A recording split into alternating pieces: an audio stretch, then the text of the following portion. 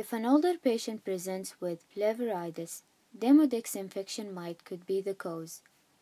Demodex can only live in a human hair follicle, and when kept in check, they cause no problems. The treatment is aimed to control the proliferation of Demodex mite.